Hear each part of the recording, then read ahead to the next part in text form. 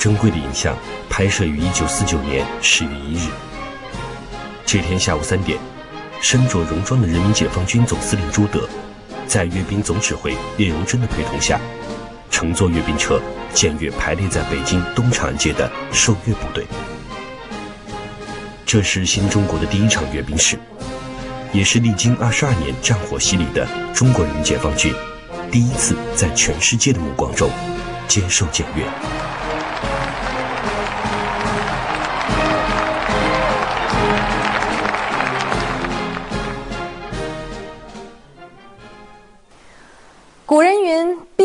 国之大事，生死之地，存亡之道。”而阅兵则是壮军威、振国威的重要手段。从1949年开国大典开始，阅兵就成为了共和国国庆庆典的一项重要内容。除了公开举行的阅兵仪式之外，在全军开展的大比武、大军演，同样也是对军队战斗力的全面的检阅。在新中国成立至今的六十三年的时间里，一共举行过十四次国庆阅兵。还举行过多次重要的全军比武，还有大规模的实兵军演，他们可以说是对军队战斗力的全面检阅，也见证了新中国一个甲子的发展变迁。而实际上，中国军队的每一次和平亮剑，都和所处的时代有着紧密的关联。在阅兵式整齐划一的步伐的背后，穿过实兵演习漫天的硝烟，呈现在我们眼前的，是新中国风雨六十年的。建军之路。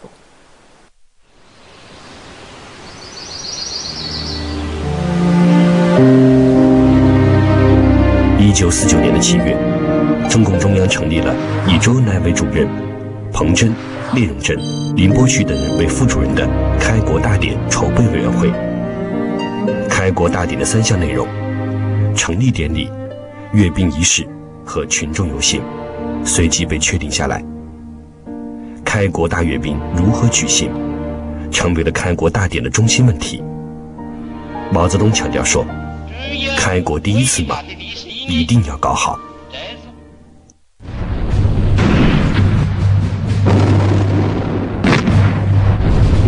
此时，中国大陆还没有完全解放，西南、西北、中南及华南的战事仍在继续。开国大阅兵既是首次亮相。更是亮剑。什么样的部队可以代表新中国的军队接受检阅呢？在确定阅兵总指挥的人选时，毛泽东、周恩来、刘少奇、朱德都不约而同地想到一个人——聂荣臻。在解放军高级将领中，聂荣臻尤其注意军容风气，即使是在战争年代，他也总是将风气扣扣得很好。鞋帽时时穿戴的工整，连衣服上的补丁也平平整整。在这位总指挥麾下，一支来自全国上万人的受阅部队，即将在三个月之后，以胜利之师、威武之师的风貌，接受世界的检阅。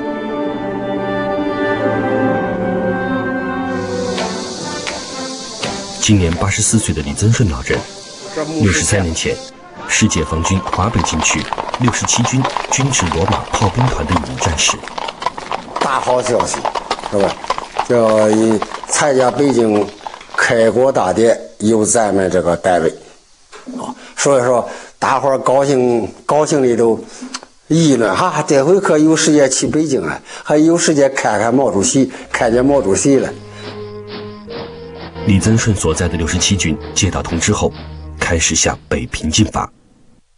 轻装上阵，不许你你带多少东西，带了一个你背卷，那背包一打一打，里边有又是收拾一点东西，嗯，换换的这个换的这个内衣或者鞋袜，别的都不许带。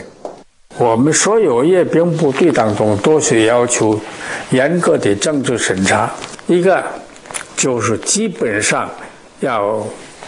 参加过解放战争的，各方面表现的比较好的，呃，比较勇敢的，啊，这个人员。另外一方面呢，尽可能的是贫下中农。今年已经九十二岁的罗浪，在六十三年前的开国大典上，出任了军乐队总领队、总指挥。军乐队除了要求演奏技巧优秀之外，同样需要通过步兵严格的身体条件选拔。不管什么成分，他也不参，太高了也不参加，呃，太胖的不参加，太瘦的也不参加。走过天安门的都是一律的，一米七左七五左右的，说就是很整齐的这么个排列。此时，罗浪和他的军乐队队员们还不知道，自己即将在开国大典上演奏什么曲目，而实际上，就连举行阅兵式的地点，此时也没有最终确定。对于阅兵地点，有两套方案：一是天安门广场，一是西苑机场。这两套方案各有优缺点。天安门地处北平市中心。在这里举行开国大典，无疑会增加热烈的气氛和效果。而西苑机场的优势在于，它有宽阔的机场跑道，没有阻碍交通的后顾之忧。而且，毛泽东和中央领导刚进北平时，曾在西苑成功的举行过阅兵。更重要的原因是，那里地处郊区，地形开阔，万一遭到国民党空军的袭击，也便于疏散和隐蔽。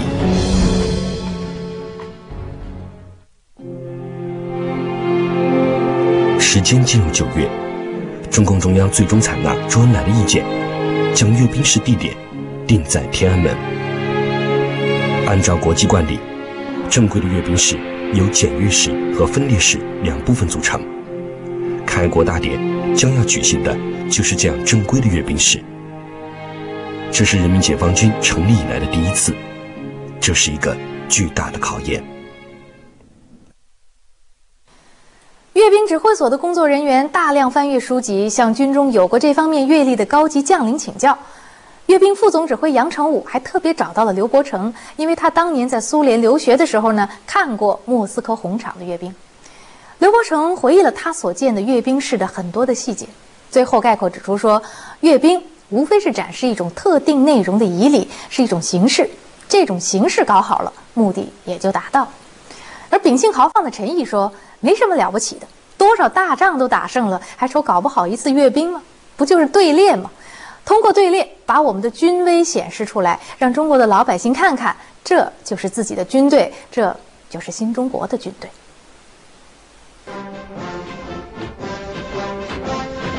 七月底，艰苦的阅兵训练正式在北平郊区几个地方同时展开。炎热的天气给战士们的训练增加了不少难度。那还是比较艰苦，在锻炼过程当中，你比方说走方块，走这横排，这人走竖排好走，走横排不好走。走横排你得呃齐了，那步子得迈成一般大。啊，开始练就是你靠前，我靠后，你的步大，我的步小，走不齐，走不齐以后才去底下划线，底下划线，画上白线以后，你按白线走。李增顺所在的罗马炮兵方队，除了基本步伐训练外，还要比其他部队多出一项任务，那就是要训练罗马。步伐训练对战士来说，都不是件简单事，更何况要求罗马。听从人的指挥。啊，牵上牲口，牵上罗马，嗯，把这炮也拉上，就这样走。这样走，你这一方面你还人走起，你一方面还得牲口这脑部、头部还得走起。华北战车团也是从1949年7月开始阅兵式训练，酷暑下的坦克战车里格外艰苦。坦克，你你别看着这个坦克，它开起来很威风，里头是苦得很呐。那手一摸就是烫的，嗯，很很烫的。你外头的甲板，你手都不敢碰它。训练的艰苦，还不是田生最担心的。最难的是如何拼装起接受检阅的三十辆坦克。现有的战车都是从各个战场缴获的，产自十几个国家，有万国杂牌之称。这些拼装的杂牌坦克车，究竟能否派上用场，在阅兵式上接受检验呢？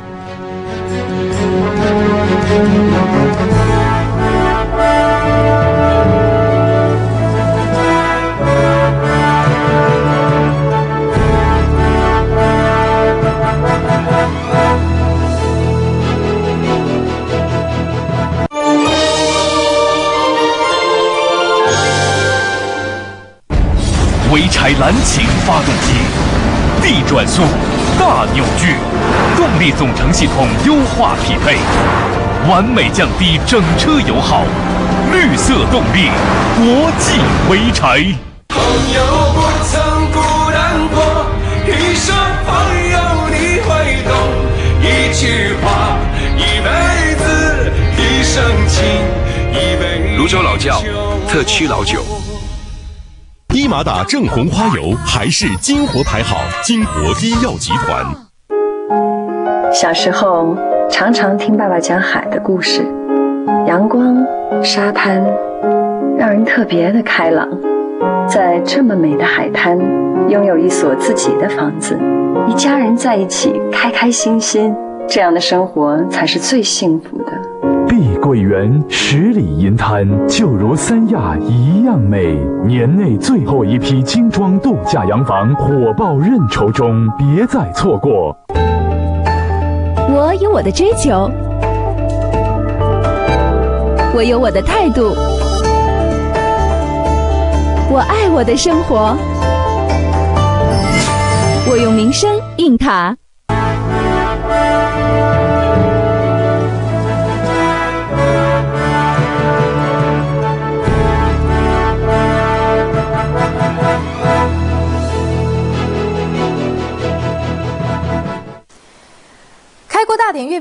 是按照海陆空的出场顺序，当时的习惯叫法是海陆空军，比如说海陆空军大元帅。而一九五零年之后呢，在天安门举行的历次的国庆阅兵式都是按照陆海空的顺序。在当年的开国大典阅兵式上，陆军代表部队是阵容最强大的一个部队，包括了步兵师、炮兵师、战车师、骑兵师各一个。而在战车师之中呢，又有摩托车步兵团、装甲车团和坦克车团。对于新生的共和国而言，海陆空机械部队全都是看家宝贝。他们在开国阅兵式上的亮相，可以说是这场亮剑仪式的出鞘表演。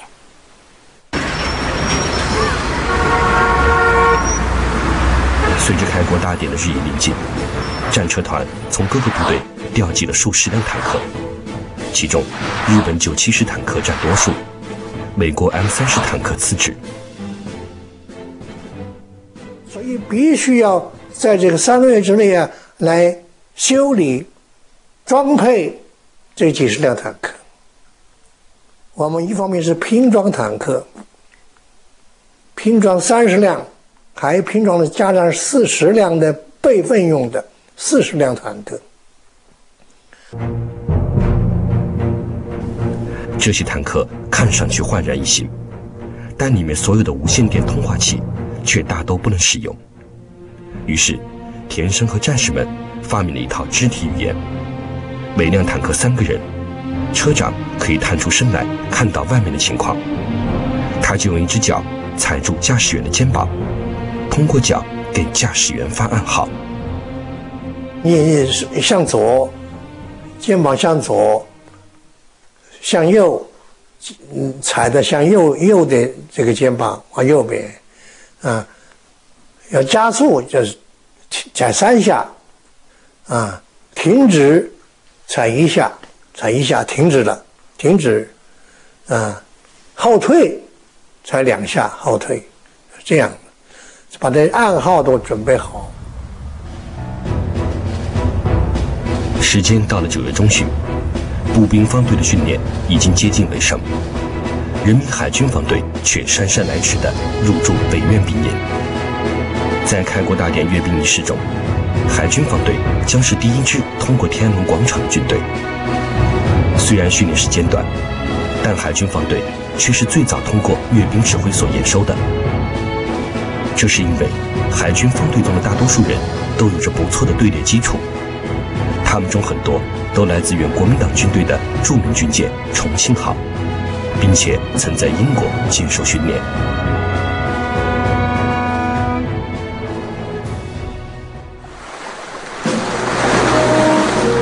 一九四九年三月二十日，重庆号打开海底门，自沉于葫芦岛码头。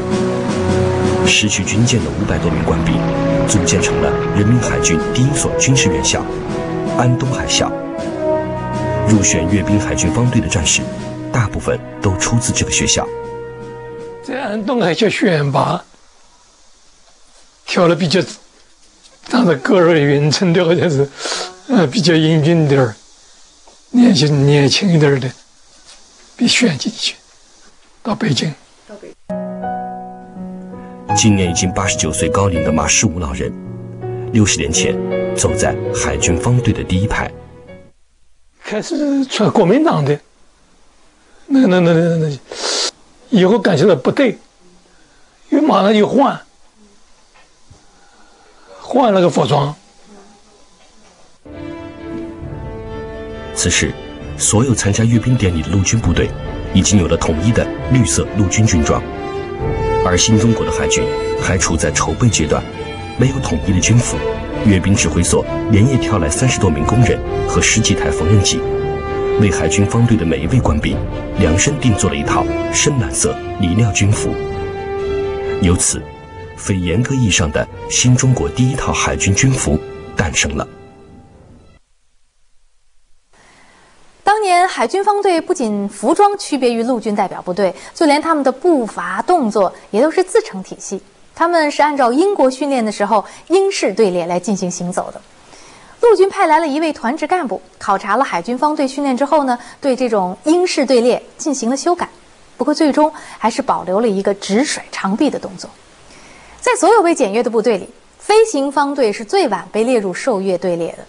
一九四九年，中国人民解放军的飞机和飞行员的数量都特别有限，而且大部分呢是起义过来的，连飞机的型号也是五花八门，而且大部分机体都是伤痕累累。所以呢，最初的设想是让飞机在北平的上空散发传单，烘托一下庆典的气氛，并没有飞行队参加开国阅兵的计划。八月，飞行队正式担负起了北平地区的防空作战任务。每天，南苑机场保持双机到四机的战斗值班，一有命令即升空作战。九月上旬，朱德、周恩来前往南苑机场视察，在观看完飞行表演后，朱德期盼地说：“能不能再多几架飞机？什么飞机都行。”后来，又有两架文式战斗轰炸机，三架刚修复的运输机。一架通讯机和两架教练机加入了受阅飞行队。直到九月二十二日，空军参加开国大典阅兵的计划表才正式出台。最终敲定，十月一日当天，将有十七架飞机通过天安门上空。这几乎是当时人民空军的全部家底。这时，距开国阅兵只有八天的时间，也就是。只剩下一百九十二个小时。九月二十三日，部分受阅飞行部队为了测试数据，进行了一次预演。当天，中南海怀仁堂正在召开政协会议。周恩来在会议上发言，忽然，室外传来隆隆的飞机声。所以他们就问：“这是什么飞机？”说周总理就站起来讲说：“这是我们自己的飞机在进行表演，嗯，在准备咱们呃开国大典的时候，他们参加检阅，这个就是整个在参加会议的人就很高兴啊，很很受鼓舞。”九月底，阅兵指挥所组织受阅的海陆空三军部队，夜间在天安门广场进行过两次合练，也就是。正式阅兵前的实地彩排。九月三十日午夜，受阅部队开始入城集结。就在这一天，每个参加受阅的飞行员都留下了这样的一段誓词：“我参加检阅，一旦飞机出现故障，宁愿献出生命，也不让飞机掉。”在广场和附近的建筑上。除了机械部队之外，步兵方阵受阅的时候手持的武器也成为了开国阅兵式的一大难题。因为当时人民解放军武器装备大多呢都是从战场上缴获来的，呃，战士们手中的枪械可以说是五花八门，严重影响了受阅时候的持枪动作，而且也有碍观瞻。那么，为了整齐划一，阅兵指挥部就规定受阅部队统一使用缴获的日本三八大盖。九月三十号当晚，步兵方队两千多名受阅官兵把他们手里的三八大盖擦了又擦。很多人还特别用机油来擦拭枪械钢盔，让锃亮的装备更显威武。而为了能够在开国大典上连续几个小时不去大小便，很多战士提前一天就开始控制他们的饮食了。而在三天之前，《义勇军进行曲》被确定为了代国歌。不过呢，有个插曲，就是负责通知的工作人员呢，却忘了告诉军乐队的总领队罗浪，导致两天之后，罗浪才接到了迟来的通知。这个时候，距离开国大典只有四十八个小时了，而在最后的时刻，还有很多未知的状况呢。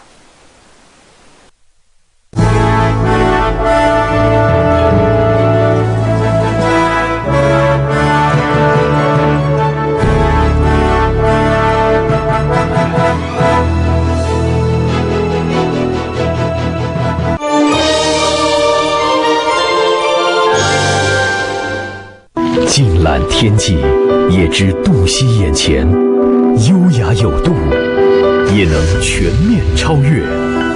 志享品味的中高级座驾，东风标致五零八。海天蚝油，快乐一点，轻松一点，美味一点，只需一点。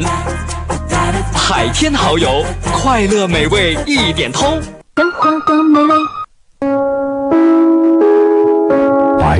酱酒，讲究。茅台集团的白金酱酒，用小杯喝更讲究。啊，一站式服务，应有尽有，很时尚，都是名牌，实行先行赔付，统一退货。装房子买家具，我只来居然之家，居然之家。梦想在我心间，服务在您身边。北京银行，真诚所以信赖。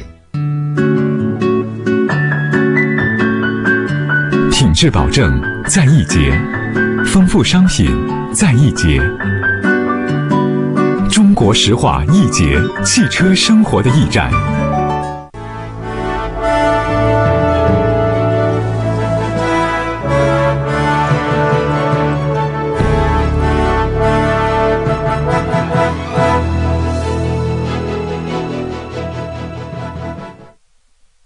九年十月一号凌晨，东方的天空开始微微泛红了。在刚刚过去的二十个小时之内，天安门城楼上的毛主席画像经历了两次大的修改。画像上的毛泽东头戴八角帽，身穿中山装，此时他的衣领已经从原来的微微张开改为了扣上，而画像下边“为人民服务”的五个红字已经被悄然抹去了。此刻，整个天安门广场城楼下、金水桥头、东西关礼台，包括中山公园、太庙，全部是严密警戒。开国前夕，国民党特务在北京城里还是时有活动的。就在几天前，保卫人员还在天安门广场上当场抓获了一个前来探路、绘制地图的国民党特务。一场盛大的庆典在大幕拉开之前，显得尤为安静，尤为紧张。一九四九年十月一日，天还没亮，受阅部队已经集结在天安门东侧的东三座门外，排起了长长的队伍。下午一点钟，三十万群众陆陆续续抵达天安门广场。两点整，华北军区军乐队队长罗浪带领的开国大典军乐队已经准备就绪。而就在大典开始之前，他接到一个死命令：哪怕下炸弹、下刀子都不许动，已经下了这么个死命令。此时，实际上每一个参加阅兵的战士都接到这样的命令：开国大典定在下午三点开始。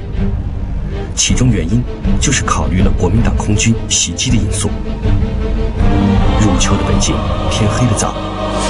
按照当时国民党飞机的性能，如果下午来北平空袭，天色晚了就回不去了。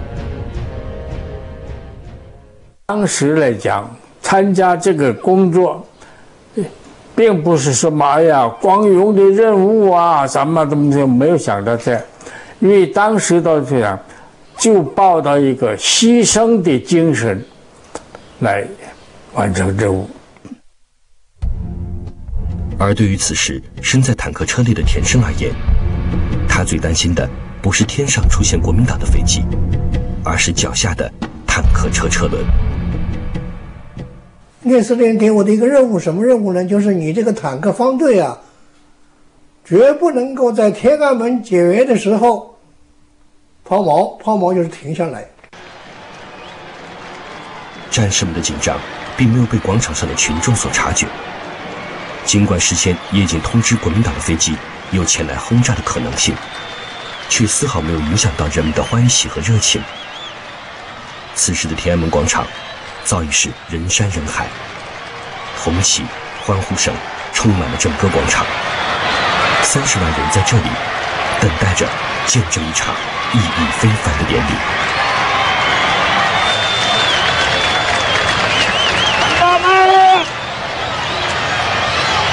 啊！人民真活乖，真让人民政府。今天，让你的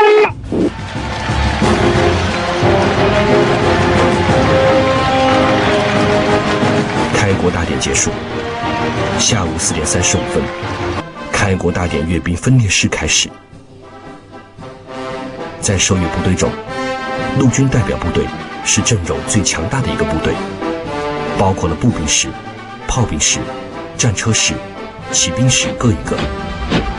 而在战车师之中，又有摩托车步兵团、装甲车团、坦克车团。经过三个月艰难的组装。翻修和训练，这些原本只是破铜烂铁的拼装坦克，终于以崭新的姿态出现在了开国大典的阅兵式上。看到坦克方队亮相，人群中发出热烈的欢呼声。而田生则越来越担心，这些看起来崭新，实际上是拼凑改装的坦克，能否顺利的通过检阅台？然而。田生最不想看到的事情，还是发生了。我那个方队有一辆车通过了天安门，到西华门，到西华门那地方，他走不动了，抛锚了。尽管这辆坦克已经通过了天安门，但这辆抛锚的坦克将会影响接下来这个阅兵队伍的行进。田生的心提到了喉咙眼儿。阅兵总司令聂荣臻也紧锁眉头，注视着这辆坦克。终于，转机出现了。那西华门后面那个坦克很机警，把它一一推一撞，把它撞出去了，撞出了西华门。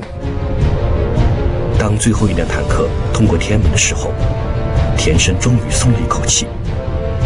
就在这时，空军队伍也来到了天安门广场的上空。这是新中国的第一支空军队伍，人们纷纷翘首张望。军飞来的时候，大家非常兴奋啊！这这中华人民共和国建立第一次有自己的自己的这个空军了，嗯，所以大家非常兴奋。在战争年代也看到过，但是没有像那个阅兵那样编着队这么这一一一架接一架这么飞过来，没见过，是吧？所以很新鲜。人民空军的队伍。以三架一组和两架一组的队列方式通过天安门上空，人们一边欢呼，一边默默数着飞机的数量：一架、两架、三架，一直数到了二十六架。人们不知道，这其中有着周恩来的巧妙安排。飞机很少。那么就是说，我们外国要是搞飞机的这个空中嗯检阅的话，三架一组，三架一组。那我们飞机少，我们就两架一组吧，是吧？他就要求说，我们就两架一组的飞过天安门，但是还是少，怎么办呢？那第一组的绕一圈，再回来接最后的一个，这样的话呢，就显着我们又有了一些飞机，不然的话，我们等于就是就是穷则思变，对吧？我们东西少了以后就要想办法，飞机少了要想办法，显着要壮观一点。在周恩来的安排下，十七架飞机整齐飞过天安门广场后，九架转回队尾，再次接受检阅。而在场的外国记者也没能看出其中的奥秘。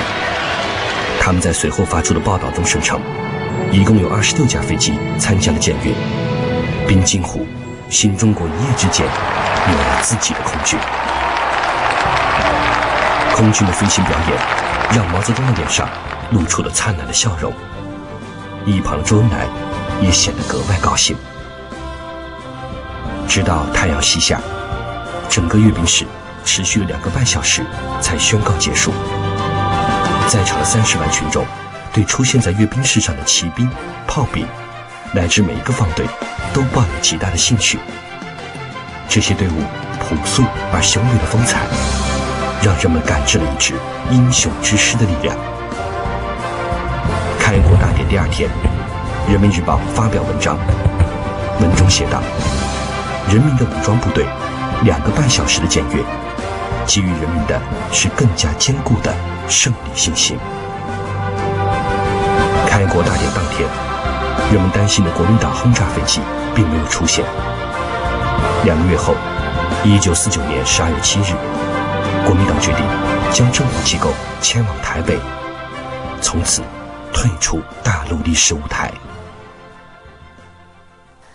从一九四九年开国大典到一九五九年十周年国庆，国庆阅兵活动一直持续了十一年。此后，为节省国力和军队的精力，中央军委定下了逢五小月、逢十大月的惯例，不再每年举行一次国庆阅兵。而实际上，在此后的二十五年，新中国都没有再举行过国庆阅兵。但是，一场规模空前的全军大比武即将掀起高潮。